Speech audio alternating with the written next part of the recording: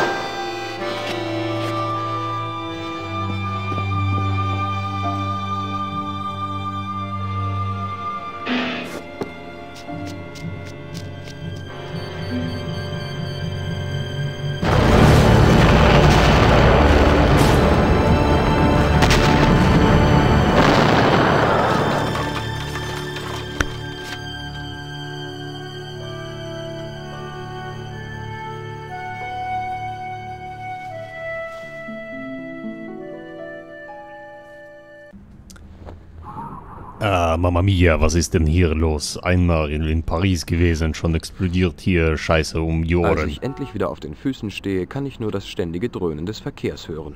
Das Leben um mich herum geht weiter, aber die Explosion sollte mein Leben für immer verändern. So, hallo, herzlich willkommen zu einem Let's Play von Baphomets fucking Fluch. Teil 1.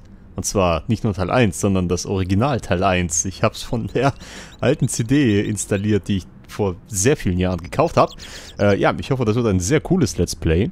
Und äh, vielleicht sogar wird hier und da mal ein Livestream stattfinden, wenn das Spiel gut ankommt. Und wenn das Spiel nicht gut ankommt, dann, äh, dann äh, deabonniere ich äh, höchstpersönlich die Dead Donkeys. so, was haben wir denn hier? Das ist ein typisches Adventure, wie man es früher sehr gerne und oft gemacht hat. Mittlerweile sind die sehr rar. Naja, nicht so rar, aber so klassisch wie dieses Spiel ist kein anderes Adventure mehr heutzutage. Was ist denn das? Das ist hier der Schirm. Das hätte was, unter den Schirm zu krabbeln und so zu tun, als ob nichts passiert wäre. Aber nicht sehr viel. Ja, das ist so diese typische amerikanische Einstellung, die unser Held George Stobbart, Stobbart nicht unbedingt hat. Er hält nicht sehr viel davon. äh, gut. Das Witzige, da, da in der Cutscene sah es so aus, als würden wir in so einem Leichensack liegen, weil da außenrum noch diese Stiche, äh, naja, diese Dinger zu sehen waren. Äh, also richtig cool. Der Schirm hat mich vor der Wucht der Bombe beschützt, aber jetzt ist er zu nichts mehr Nütze. Gut, also ich, ich habe ich hab zwei Möglichkeiten. Ich kann mit der linken Maustaste oder mit der rechten Maustaste das Zeug anklicken und je nachdem, mit welcher ich das tue, äh, wird er das entweder anfassen oder nur beschreiben oder beobachten. Da ist ein Zeitungsausschnitt.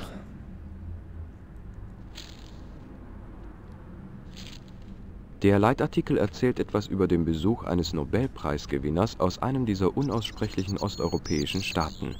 Das ist aber auch schon die einzige echte Nachricht. Der Rest besteht aus Gerüchten, Klatsch und Sensationsberichten.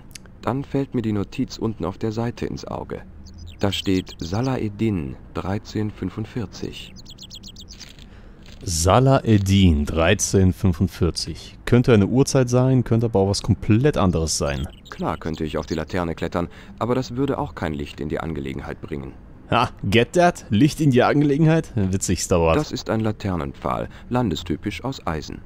Ja, das ist auch sehr witzig, ne? Jedes Land hat so seine, also fast jedes Land hat seine typischen Laternenformen. Und ich hoffe, dass das auch noch bis zu meinem Todestag so bleiben wird. Ich liebe Laternen. Vor allem nachts. Die sind einfach richtig toll und romantisch. Mein erster Impuls ist, den Tisch wieder hinzustellen, aber dann denke ich mir, dass es besser wäre, Beweismaterial nicht anzurühren. Ja, die Zeitung hast du trotzdem eingesteckt. Du blödes Arschloch. Guti, ähm, ja, ich könnte jetzt mal wirklich mal reingehen und gucken, ob da alles äh, immer noch auf dem Boden steht. Oder was überhaupt noch auf dem Boden steht. Ja, was für eine Explosion. Dieser scheiß Clown. Vertrauen niemals einen Clown. Also ich persönlich würde es niemals tun und empfehle es euch auch nicht.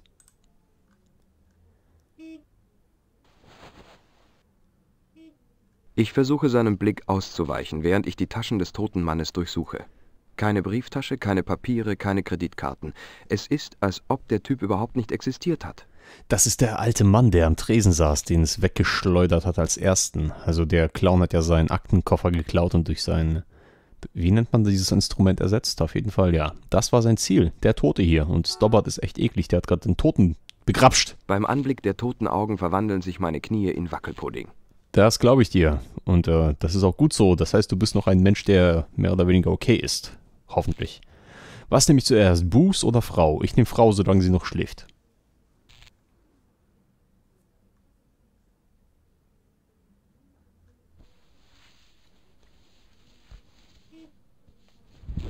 Oh la la, französisches Mitrennen. Erzähl mir deine Geschichte. Oh, mein Kopf. Nie wieder. Wie viel Wodka habe ich getrunken? Nein, sag es mir lieber nicht. Wie heißt du, Cherie? George Stobbart, Ma'am. Oh, Amerikaner? Es war eigentlich eine sehr unschuldige Frage, aber ich konnte Ihre Vorbehalte fühlen. Das ist etwas, mit dem irgendwie alle Europäer zu kämpfen haben. Sie sehen aus, als könnten Sie ein bisschen Hilfe gebrauchen. Ich könnte einen Drink gebrauchen. Hm, mir ist schlecht, schwindelig, ich fühle mich mies. Und ich weiß noch nicht mal, was das für eine Party war. Entspannen Sie sich. Sie sind gerade umgekippt. Wie bitte? Was ist passiert? Es gab eine Explosion. Sie sollten sich lieber nicht bewegen. Sind Sie Arzt? Äh, ja, gute Frau. Zufällig bin ich Arzt. Ja, bin ich. Ich habe unter Dougie Hauser studiert. Wer ist denn das? Nur einer der brillantesten Mediziner auf diesem Planeten. Er hat mir alles beigebracht, was ich über Medizin weiß. Können Sie sich denn an gar nichts erinnern? No, ich brauche einen Drink. Geben Sie mir ein Brandy. Ich bin Barkeeper, äh, Arzt und kein Barkeeper, aber ich gebe dir trotzdem ein Brandy, gute Frau. Pur oder mit Eis? Geben Sie mir einfach die Flasche. naja, ein Tröpfchen Brandy wird schon nicht so schlimm sein.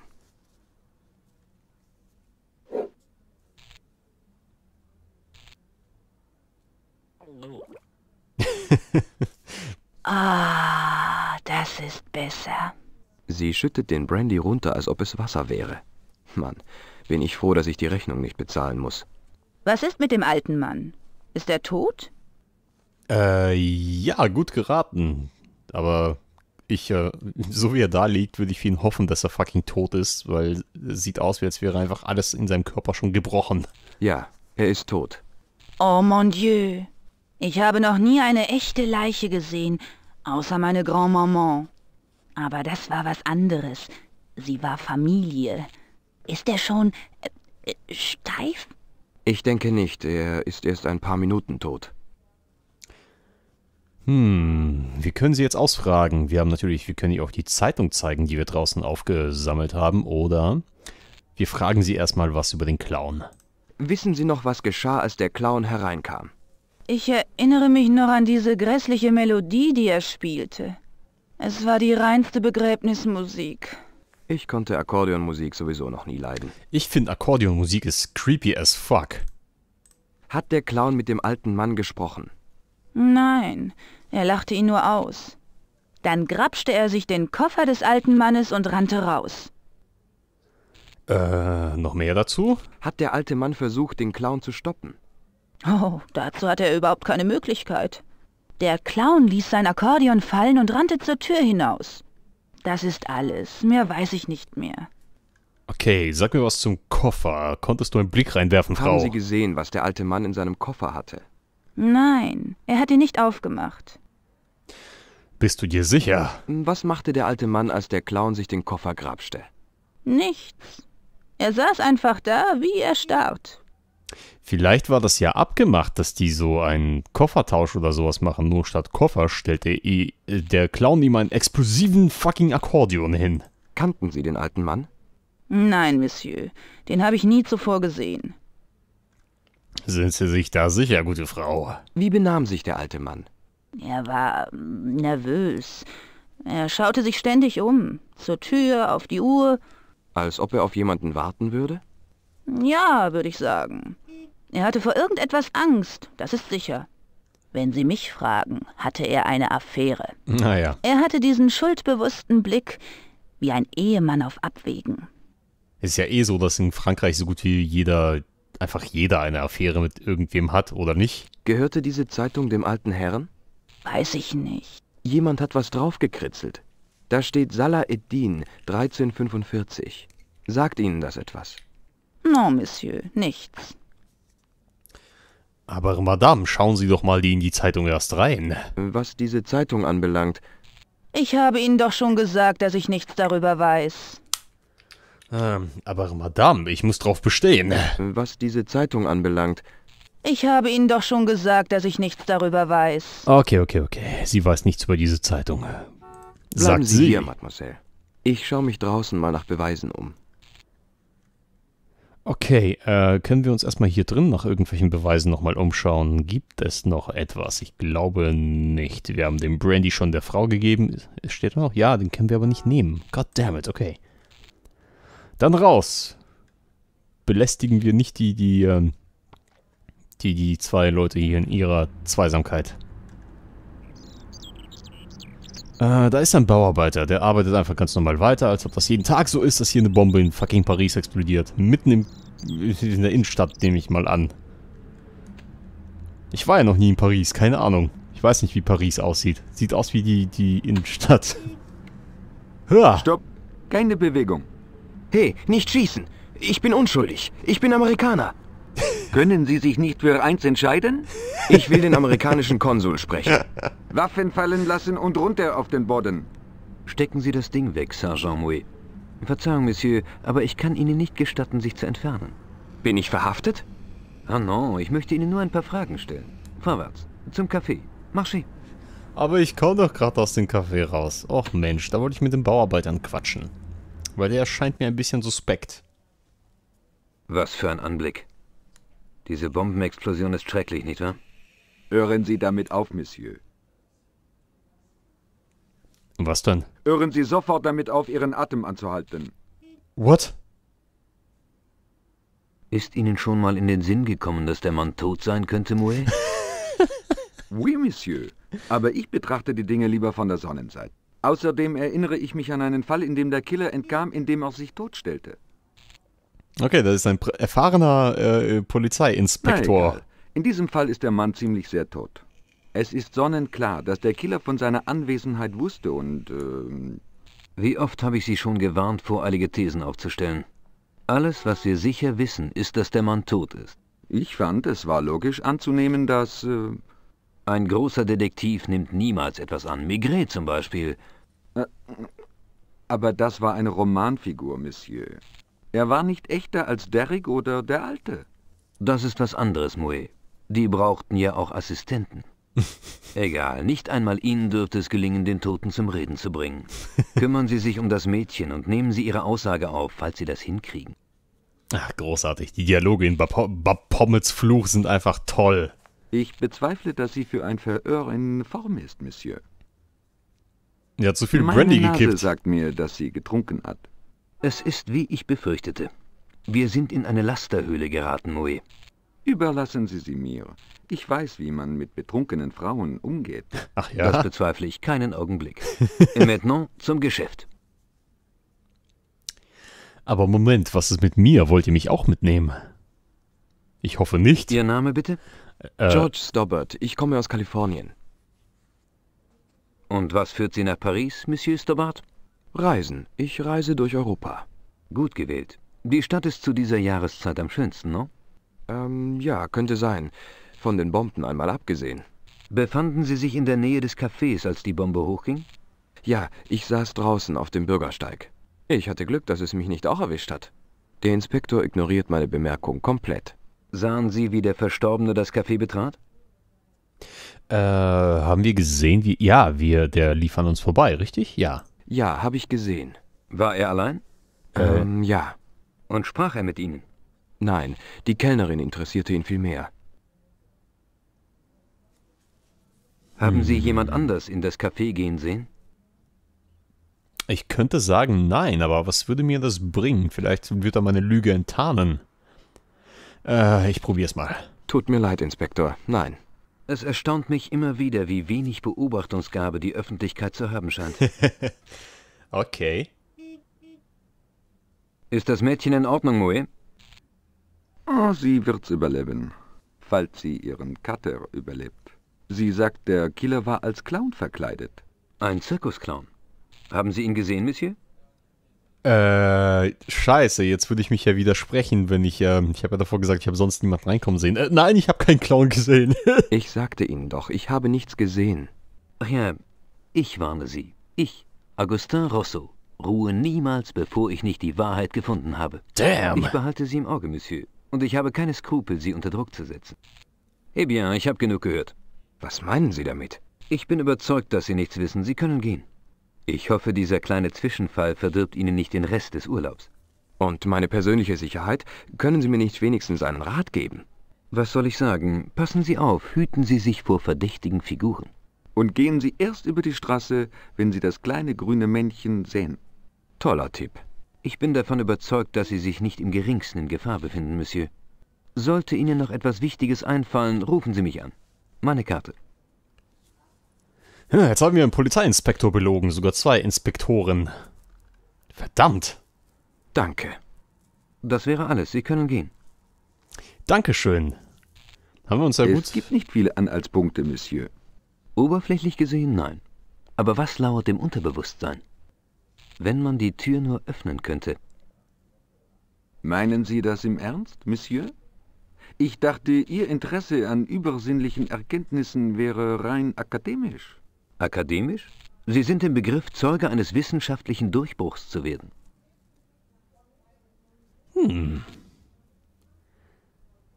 Also, ich muss sagen, der Inspekteur ist mir ein bisschen suspekte. What the fuck, die Presse ist schon da.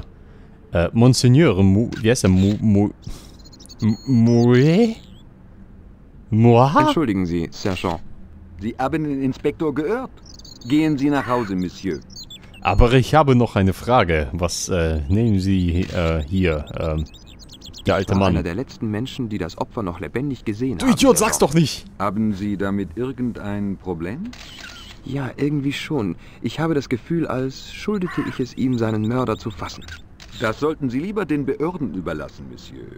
Hat er mit Ihnen gesprochen, Ihnen irgendwas erzählt? Nein, er hat nur freundlich gegrinst und mir zugenickt. Machen Sie sich weiter keine Gedanken darüber, Monsieur. Gehen Sie nach Hause und vergessen Sie die ganze Angelegenheit. Hm, okay, was ist mit dem Clown? Ich muss ein Geständnis ablegen, Sergeant. Oh je. Ich habe den Clown doch gesehen. er ist in die Gassen auf der anderen Straßenseite gerannt. Warum haben Sie das Inspekteur Rousseau nicht mitgeteilt? Ich wollte nicht klingen wie ein... Ach was, Sie wollten einfach nicht in die Sache verwickelt werden. Stimmt? Aber keine Bange, es ist sowieso völlig unwichtig. Ich werde Monsieur le Inspekteur informieren, sobald er mit dem Mädchen fertig ist. Sind Sie ihm gefolgt? Das ist Ihr Job, nicht meiner. Eine bewaffnete Verfolgungsjagd durch die Straßen von Paris? Das ist nicht unser Stil, Monsieur. Inspekteur Rousseau ist vielleicht etwas ähm, unorthodox, aber er ist nicht verrückt. Ja gut, aber würdest du einen äh, Verbrecher nicht verfolgen, wenn du ihn auf frischer Tat ertappst? Also irgendwie merkwürdig. Haben Sie schon die Aktentasche des Opfers wiedergefunden?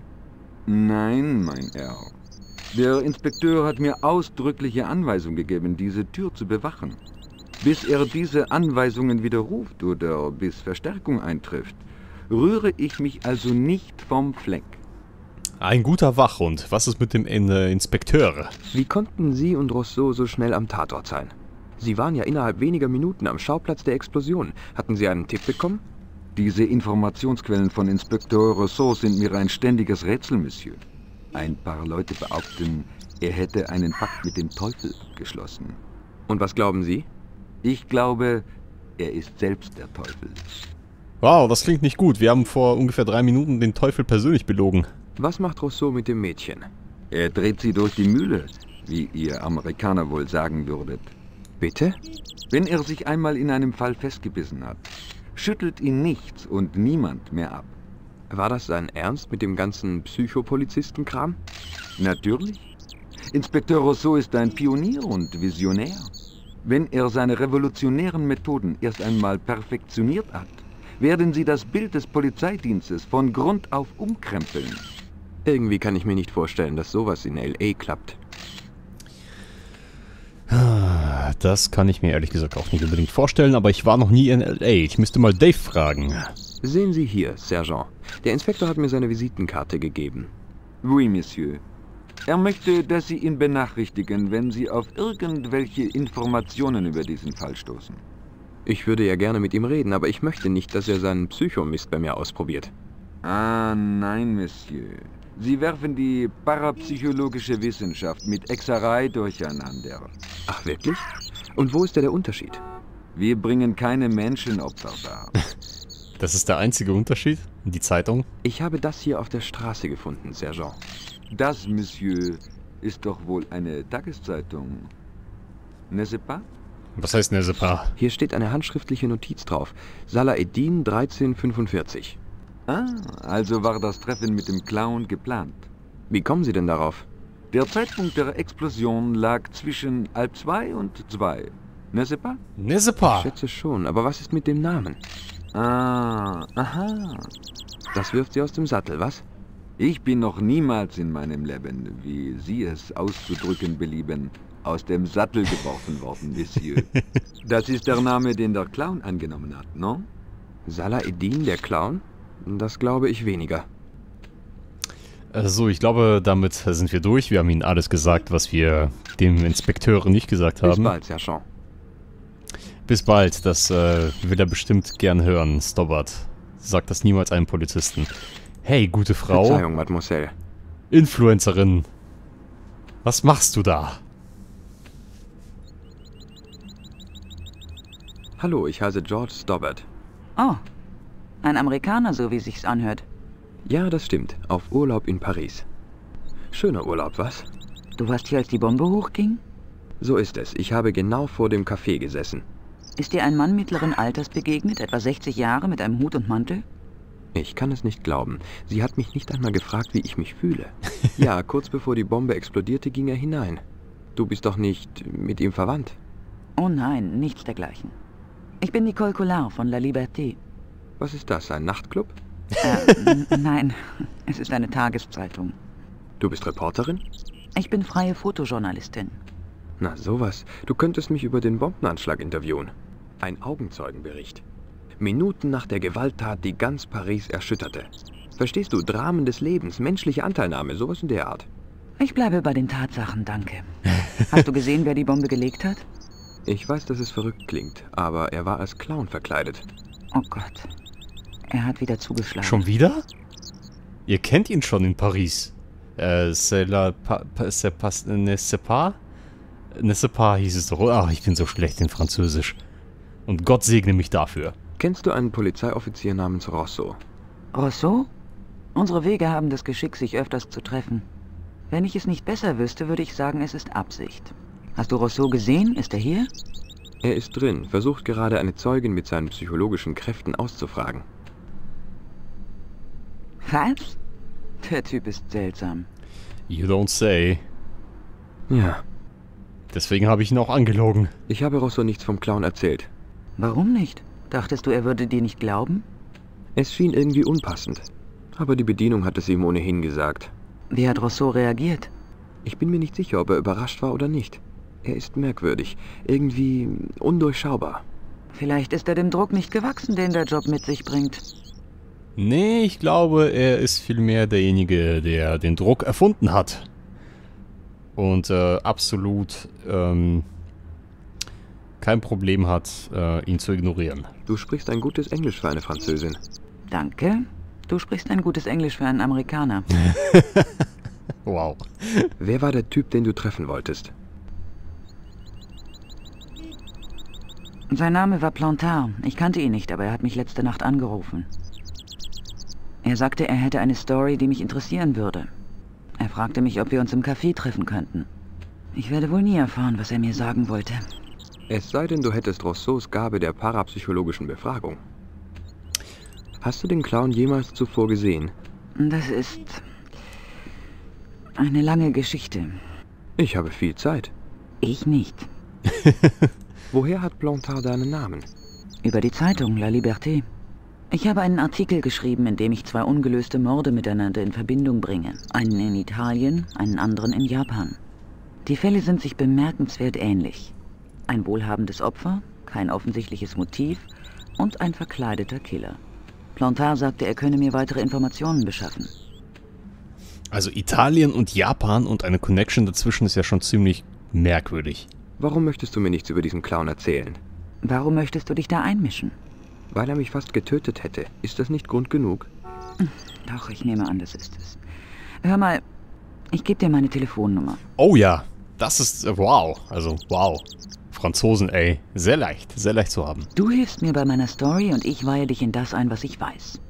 Und damit eines von vornherein klar ist, das ist rein geschäftlich. Natürlich. Okay, abgemacht. Okay, Ich muss Partner. diese Bilder entwickeln lassen. A bientôt, Monsieur. Äh, Gut, ich, äh, N'est bis pas. bald. N- N'est, äh, ça n'est te. Was? Okay, gut. An dieser Stelle mache ich hier mal einen Break, speichere das Spiel und bedanke mich an alle, die zugeschaut haben. Ein Like würde nicht schaden, ein Dislike würde schaden, aber vielleicht sogar helfen, wenn ihr ihn kommentiert und sagt, warum der Dislike da ist. Und ansonsten ein Abo ist immer gut und wir sehen uns beim nächsten Mal, wenn es weitergeht mit Baphomets Fluch.